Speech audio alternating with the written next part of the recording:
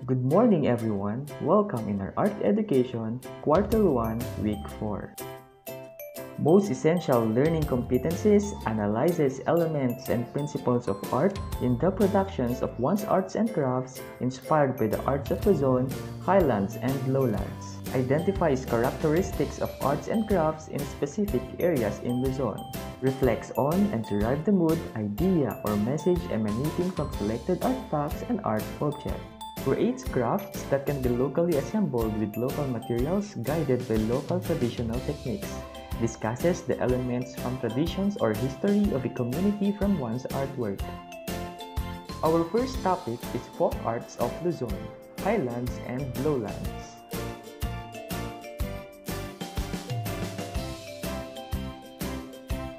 Philippines is a rich country in terms of arts, which shows the culture and traditions of different regions. Through arts and crafts, folks from different localities are able to show their feelings, skills, beliefs, and way of living.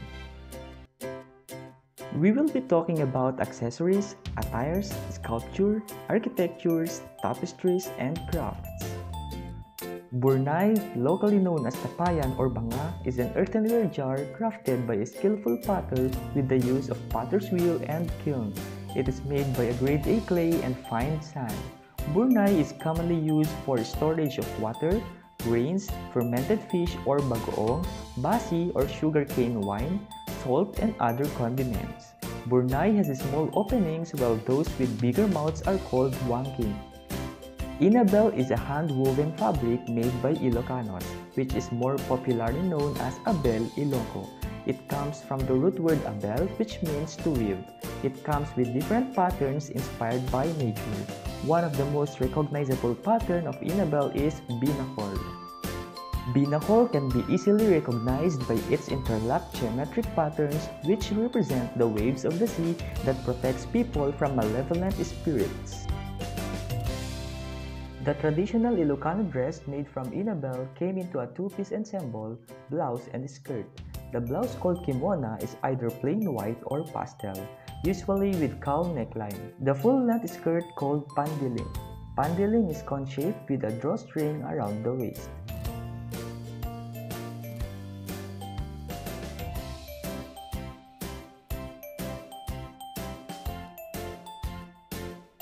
Calle Crisologo is a narrow and cobbled stone 15th century Spanish street in Vigan, Ilocos Sur and is considered to be one of the heritage sites in the Philippines.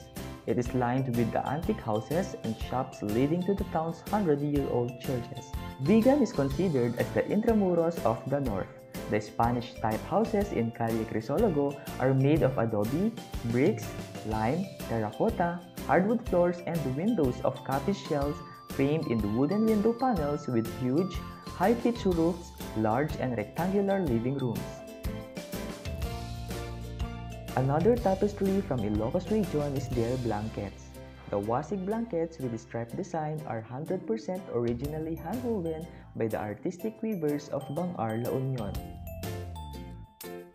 Buri mats is the smoothly woven mat from Bolinao, Pangasinan that is made of dried leaves of palm, dyed and woven. Let us move in Cagayan Valley, designated as Region 2. It is composed of five Philippine provinces, Batanes, Cagayan, Isabela, Nueva Vizcaya, and Quirino. Bacol headdress is the headgear for Ivatan women of Batanes that is used to protect them from the heat of the sun and rains. Kanayi are worn by Ibatan men farmers. Bacol and vest are made from the leaves of buyaboy, a tree endemic to Batanes. Stone houses in Batanes have unique architectural forms. Walls are made of limestones and stones with reed and cogon roofs. San Matias Parish Church or commonly known as Tumauini Church in municipality of Tumauini, Isabela, an ultra-baroque church architecture and well known for its extensive use of red bricks. The facade is flanked by two pseudo-Corinthian columns and niches, one located above the entrance and the two remaining larger niches on each side of the columns. The cylindrical belfry of the church looked like a huge wedding cake. Bakwat in Nueva Vizcaya is a belt used by mothers after giving birth. It is designed with white beads as accent and patterns of rivers and mountains, with beadworks on the central portion of the cloth. Bakwat is made by Gaddang, weavers of Nueva Vizcaya. The traditional costume for the Gaddang mill is the G-string, which is held by a girdle whose flap is weighted on the hem by beaded tassels. The attire of Gaddang women is long sleeve, round neck, collarless and waist-length blouse. An upper collarless, short garment is also worn, together with headkerchief. They have lavishly tasseled and beaded headbands and combs. Let us move in Central Luzon designated as Region 3 or also called as the rice granary of the Philippines. Its provinces are Aurora, Bataan, Bulacan, Nueva Ecija, Pampanga, Tarlac, and Zambales. Singkaban of Bulacan is the art of creating an entrance arc and other decorative materials mainly from bamboo.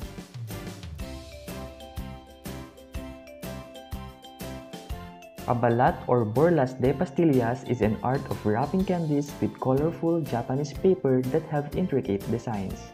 Designs may include local plants, flowers, everyday objects, or practices.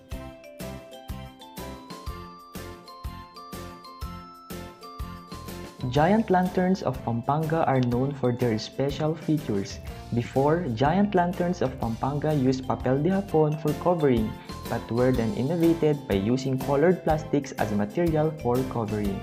In today's ages, Pampangueños use fiberglass and homemade paper for their lanterns. Every lantern has illuminated dancing lights that follow the beat of the music and are controlled by a rotor. Spanish Gate located in Olongapo City, Zambales was built in 1885 and serves as the entrance to the original Spanish naval station that provides repair, ammunition, supply, and medical support for ships. The San Andres Apostol Parish Church, popularly known as Masinloc Church, is a 19th century Baroque church located at Barangay South Poblacion, Masinloc, Zambales. The church structure is a standout among Spanish-era churches in the Central Luzon region, having been built with coral stone instead of adobe stone. It has carving of geometric shapes and medallions on the pediment. Its belfry is designed like a circular template with lantern and cross.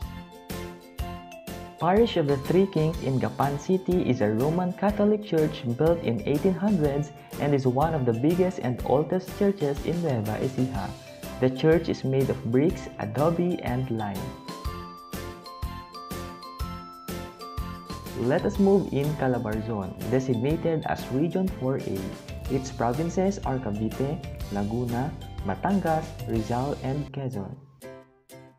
Paete in Laguna is considered as the wood carving capital of the Philippines. Paete is popular for the carving culture of saints and other religious images, decorative carvings of floral patterns and geometric designs.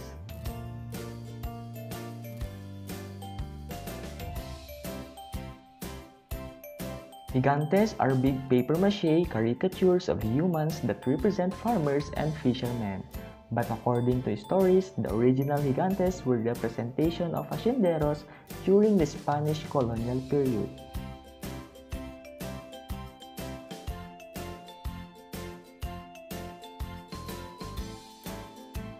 Kiping is a traditional Filipino leaf-shaped wafer made from glutinous rice. It originated from the city of Lucban, Quezon. It is used to decorate houses during the Pahiyas festival. It can be eaten grilled or fried, and can be dipped in sugar, vinegar, or the other sauce. Let us move in Cordillera Administrative Region. Kain is the basic dress for women of Cordillera region. It is a type of wrap around skirt, tapis in Tagalog, characterized by horizontal stripes bordered by decorated panels along the joints and edges. Uses bright colors especially fiery red and embroidered with beads and shells.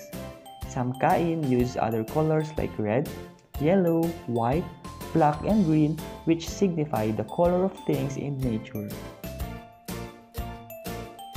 Kadangyan is a burial cloth for the rich people of Mountain Province. It is a Cordilleran term which literally means rich. In earlier days, only the grandmothers were allowed to weave burial cloth, but now, any able weaver is allowed to weave burial cloths for their dead. Panes are costume of male Igorots of Mountain Province, long strip of hand-woven loincloth or bahag. Lufid are a costume of female Igorots of Mountain Province, wrapped around the skirt or called tapis.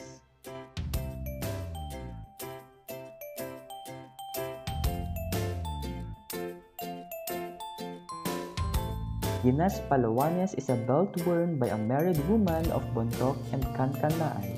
It is decorated with continuous zigzag patterns.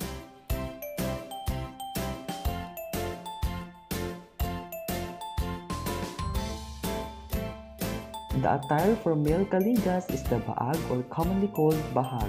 It is a long textile or fabric measuring about 10 to 15 inches wide and 3 to 5 feet long.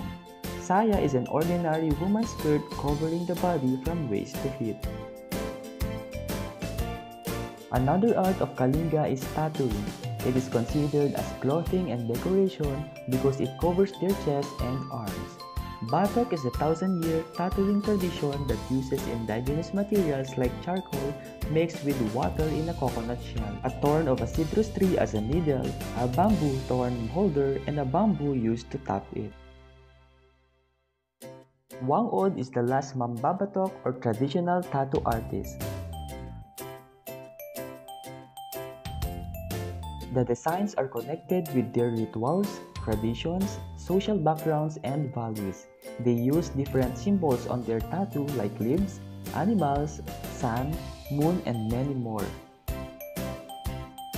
Bulul is a wooden sculpture that represents the rice granary spirits that guards the rice crop of Ifugaos.